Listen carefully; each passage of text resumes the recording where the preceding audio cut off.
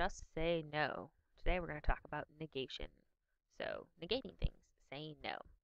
In German, there are three ways of saying no. There's nein, which means no. There's kein, which negates nouns. So, like, I have no time. Keine Zeit. I have no books. Keine Bücher.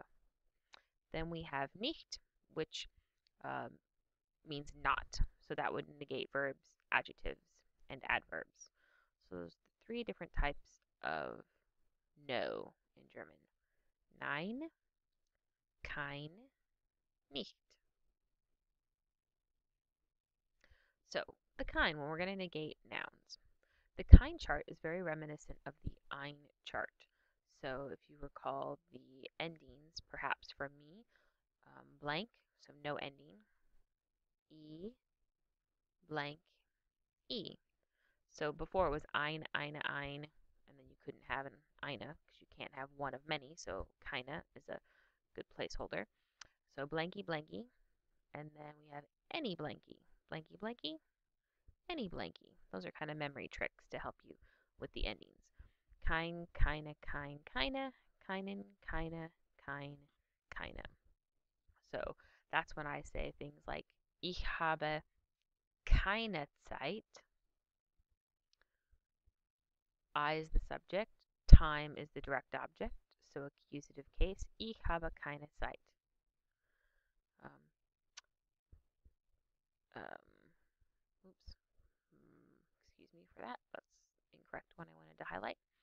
Um, kein Eis für mich. No ice cream for me.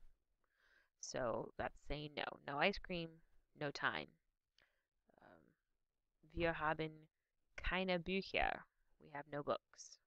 So books being plural. So kein, no to negate those.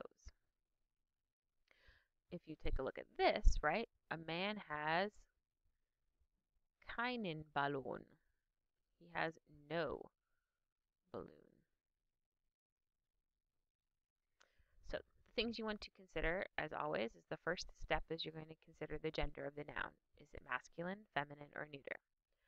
Second step, then you're going to decide the case. Is it nominative or accusative? For this exercise, later or maybe now, you might also know dative and genitive. And once you know those elements, you can use the chart. So, let's first dissect the genders of these words. Freundin, hopefully you know that's feminine. Buch is neuter. Junge, masculine. Bleistift, masculine. So now I've determined the gender. Next we want to look at the case. So we're saying no girlfriend has no book. I know this sounds horrible, but we're practicing kein, so it's not the best grammar. All right, so no girlfriend. This is the subject. So this is nominative case. Has no book. This is direct object. So this will be the accusative case. Let's take a look at this other sentence. Determining the case. The boy, the uh, no boy has no pencil. Once again, sounds silly, but just practice with me. So subject for boy and pencil is the direct object or accusative. Now that we know those elements, we can go ahead and examine the chart. So feminine nominative, for example, gives us keine, and then you figure out the rest. Use the chart. And you can check these. Of course, I made a mistake because I said use kein. So, keine Freundin hat kein Buch. Kein Junge hat keinen Bleistift.